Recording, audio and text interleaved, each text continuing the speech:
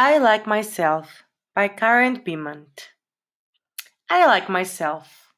I'm glad I'm me. There's no one else I'd rather be.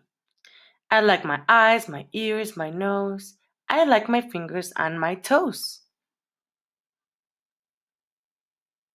I like my wild, I like my tame.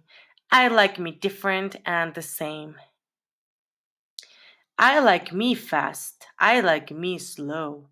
I like me everywhere I go. I like me on the inside too, for all I think and say and do. This book rhymes, eh?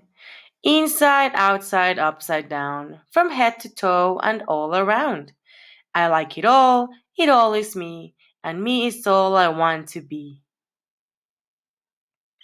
You can touch your nose if you hear a rhyming word. And I don't care in any way what someone else may think or say.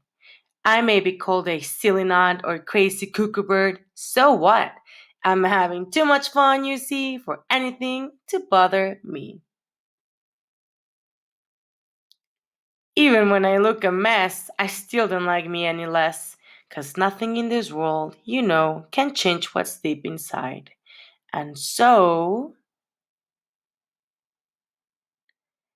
no matter if they stop and stare, no person ever, anywhere, can make me feel that what they see is all there really is to me.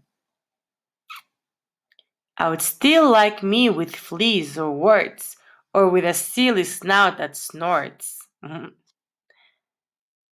or knobby knees, or hippo hees, or purple polka dotted lips.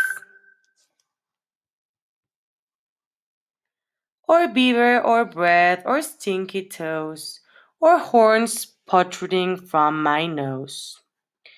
Or yikes, with spikes all down my spine, or her that's like a porcupine. I still will be the same, you see. I like myself because I am me. The end.